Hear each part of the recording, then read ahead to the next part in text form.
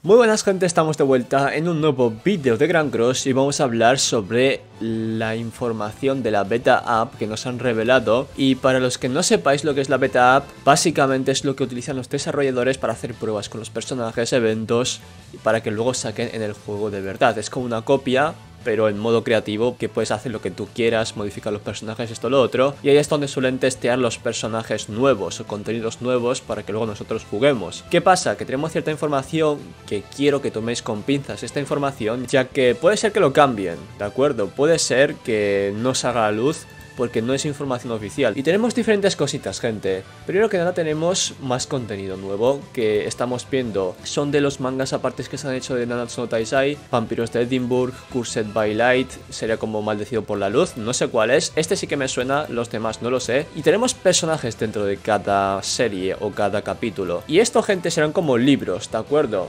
Fijaos, si nosotros nos vamos ahora en Nanatsu y nos vamos en menú, aquí en repetir historia veis que tenemos diferentes libros, pues lo que va a pasar es que van a meter diferentes libros con sus respectivas historias y personajes y básicamente esto es a lo que va relacionado, tema de los libros y todo esto, ¿no? Y aquí los personajes a mí no me suena apenas ninguno porque yo no he leído los mangas de estos libros y bueno, está Ithraf, Orlondi, Taps, que no sé quién es, Talia, Tristan sí que me suena, que creo que es el hijo de Meliodas, puede ser, Lancelot Ada, Lancelot humano, Death Pierce, Death Pierce creo que es el personaje de Nanatsu, ¿verdad? Que bueno, básicamente esto también es el universo de Nanatsu, lo que pasa que son diferentes historias y ya está. Y luego en Disaster Story, que no sé cuál es tampoco, al parecer de momento no tiene personajes, pero en un futuro quizás lo metan. Y todo esto, vuelvo a repetir que lo pilléis con pinzas, porque puede ser que no salgan o puede ser que hayan cambios, ¿de acuerdo? Y luego también tenemos monedas de festival, gente. Imagino que serán nuevos personajes con monedas, quiere decir que básicamente son personajes nuevos, ¿no? No es que se pongan en la tienda ni nada por el estilo, sino que son nuevos y al parecer puede que salga una nueva Liz,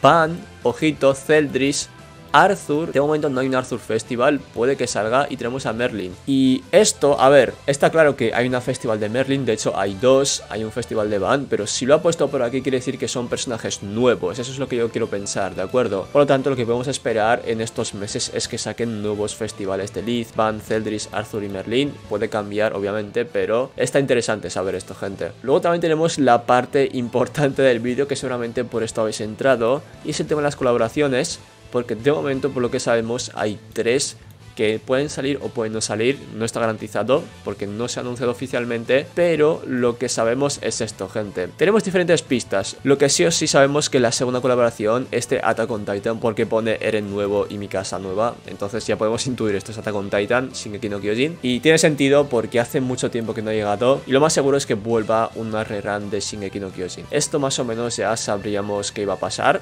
pero luego tenemos estas dos, gente.